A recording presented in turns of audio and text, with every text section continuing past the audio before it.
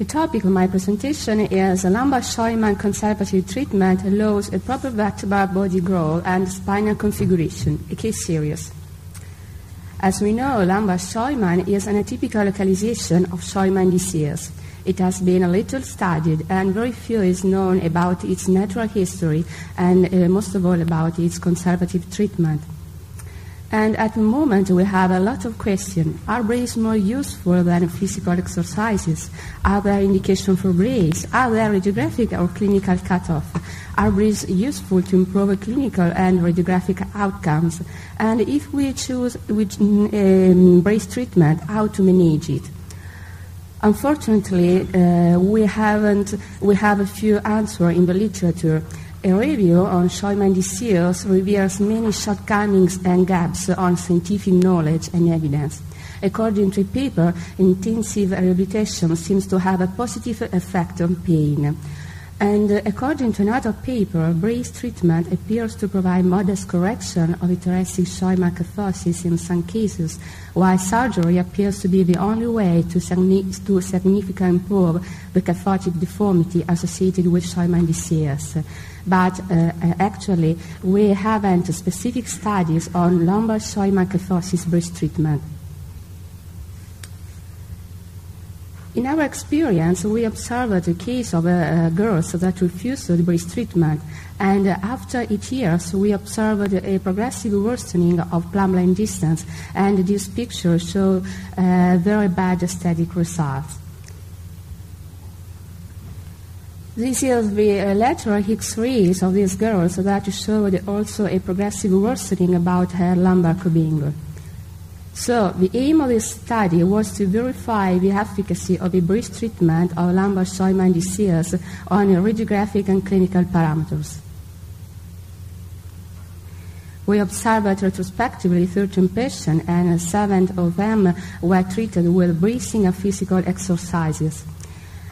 Seven recent patients presented at the beginning of the study back pain, lumbar kyphosis, and radiographic sign of Scheuermann disease, such as vertebral and plate irregularity, diminished anterior vertebral growth, premature disc degeneration, and Schmorl's nodes. As outcome criteria, we considered the disappearance of back pain, clinical and radiographic reduction of lumbar kyphosis, that is to say, the increase of lumbar Cobb angle and the increase of T12 and L3 plumb line distance.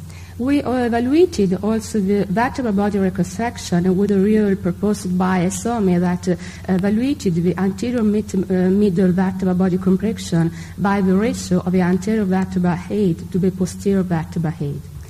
We proposed to our patient a Lapadula brace with a custom-made plastic LSO with a median frontal clasp.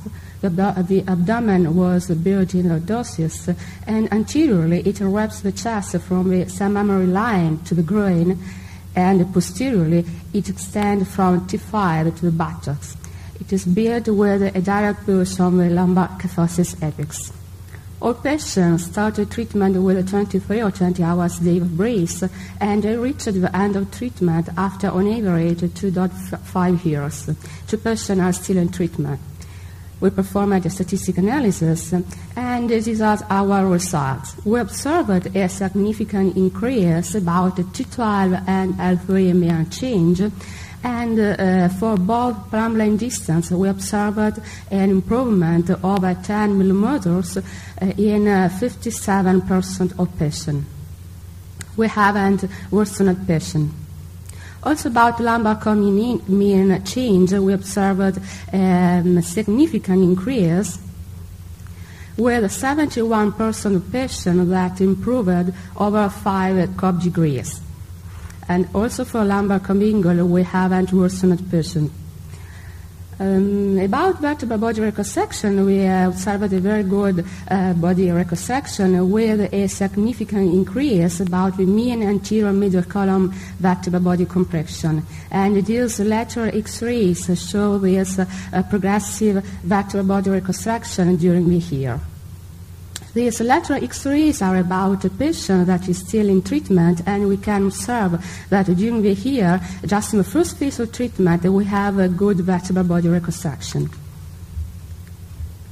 So at the moment, uh, we, mm, we don't know the natural history of the lumbar Scheuermann to correctly understand our results. And uh, radiography and clinical follow-up shows vast improvement in the first phase of treatment.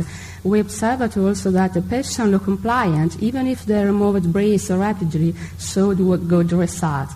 So these uh, features led us to make other questions.